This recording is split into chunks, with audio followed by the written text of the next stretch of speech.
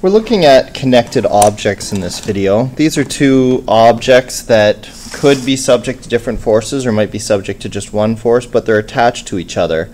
And as a result, when one object accelerates, we assume both objects are accelerating at the same rate.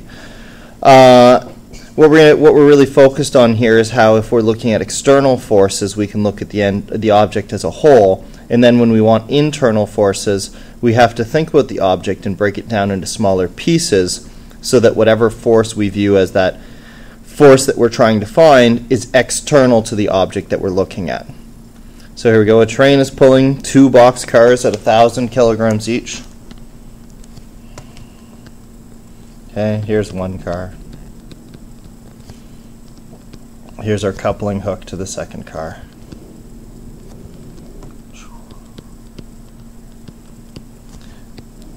Some wheels on it, it's a train. And the train itself has a mass of 2,500 kilograms. So here it is.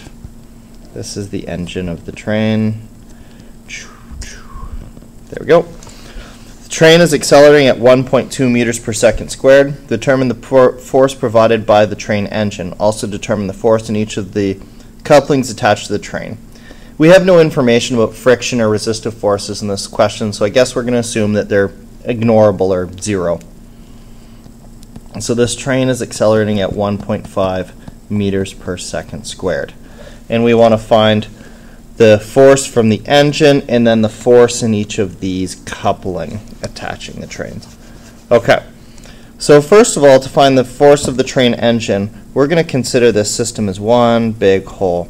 So that's 2,500 kilograms plus 1,000 plus 1,000 for a total mass of 4,500 kilograms. There's a force of gravity and a normal force, and we're assuming those two forces are equal and opposite. The train is running on level track, I guess we have to assume, and so we don't have uh, we don't have any. Those two forces are there, but sort of ignorable. We have an acceleration of 1.5 meters per second squared, and we can use Newton's second law to convert that into a force.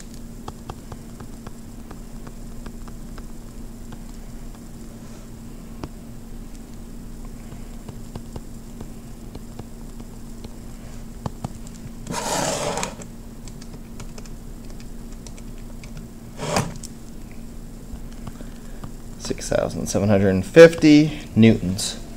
Now we're going to assume that the train engine is the, is the thing supplying that force. So what we're going to assume here is that we have 6,750 newtons, and that's the force of the engine.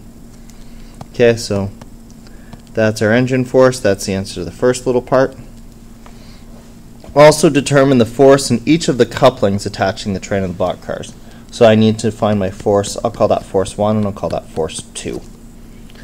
So let's do force 1 first. What I want to do is I want to divide up this object now so that force 1 is no longer just part of the center, part of the internal stuff that's going on with the object, but it is instead part of, uh, but it is instead external to the system or pulling on the system. So what I'm going to do is I'm going to make a little cleavage right here.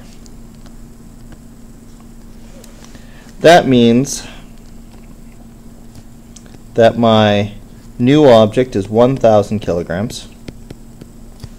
I'm just going to make my pen a little thinner. And I have some force, the force from the coupling, pulling on that train.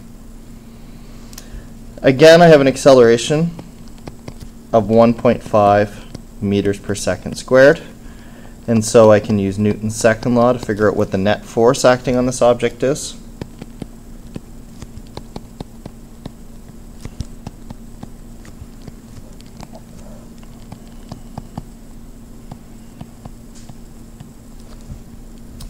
So I get a net force of 1,500 newtons.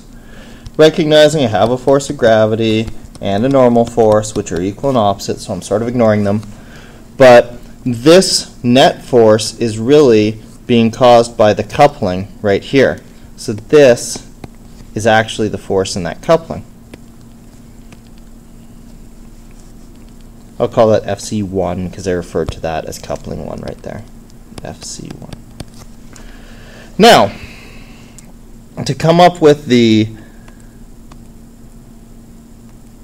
second uh, coupling force here, right here, what I'm going to do is I'm going to make a different choice. You might be tempted to say, well, what if I took this right like that? And you could do it, uh, and it would work out just fine, but it'd be a little bit more complicated than is necessary. So let's make a little bit of a better choice. What if I went like this? Then the only external force I have acting on this object is the force of interest.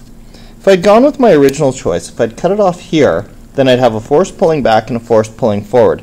It's not a big deal, but it's a little bit more complicated unnecessarily. So let's instead stick with our big choice here.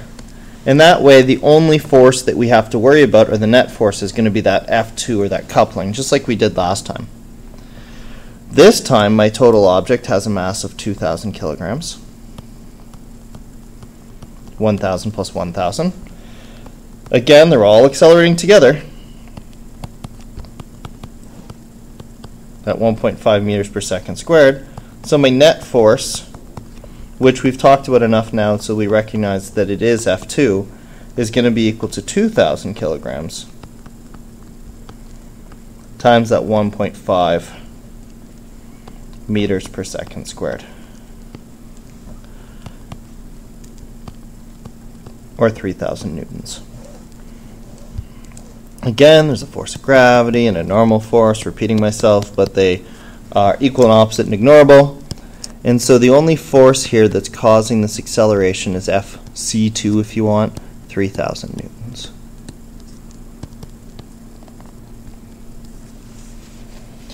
So the point of this question is, when you're trying to find out forces within an object, to make it easy, what you want to do is you want to make clever choices about how you divide up the object.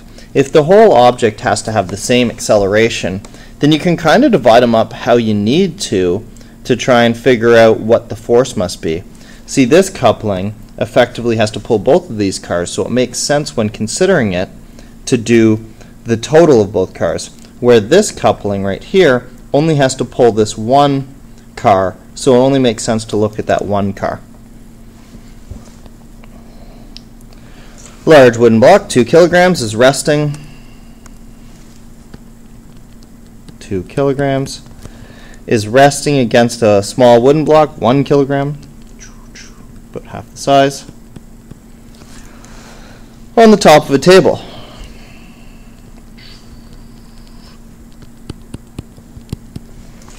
A force of friction on each block is 5 newtons and 3 newtons respectively, so this guy has an FF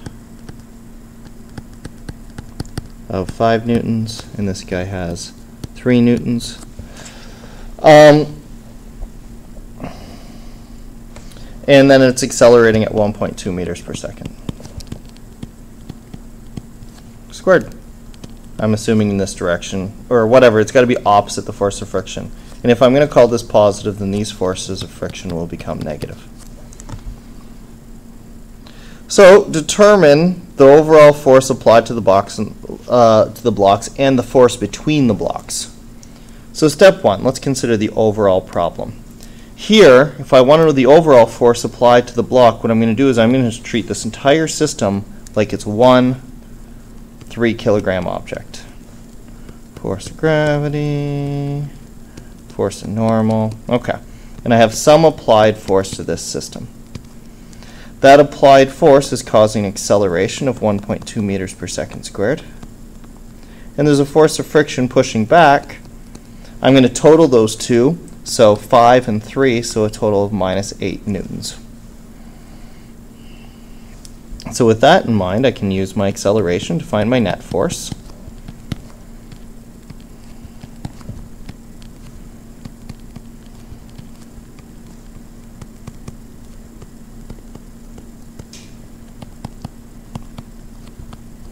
I get a net force of 3.6 newtons.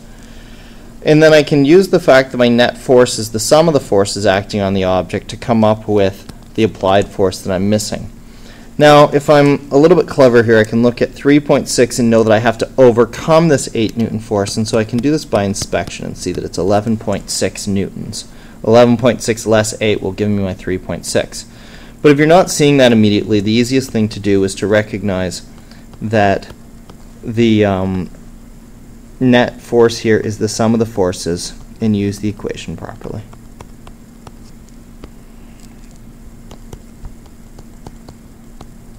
It's always a good idea to substitute into the equation and not just uh, look at it, and in that way you won't you'll avoid making a minor mistake. So there you go. That's the overall force applied to the system. Now, to determine the force between the blocks, excuse me, let's go with blue here. And if I want this force right here in between the blocks, what I'm going to do is I'm going to take the simplest system possible, and that is just this one kilogram block right here all on its own. So I'm going to forget that it's a two kilogram block that's pushing the one kilogram block, and just focus on this guy as if it was the only question asked. One kilogram, F, G, F, and some sort of F between the blocks. So I'm going to call it FB for between or blocks, whatever you want to think of. The force of friction acting back on this block is going to be negative 3 newtons. And again, our acceleration is 1.2 meters per second squared. So a net force, which is equal to 1 times 1.2, be proper with my units. 1 kilogram times 1.2 meters per second squared, which gives us a newton, or 1.2 newtons. And again, looking at the diagram, I can see that I need a force of 4.2 newtons to overcome the 3 and still have 1.2 left. But never a bad idea to write out the equation to avoid making a mental error.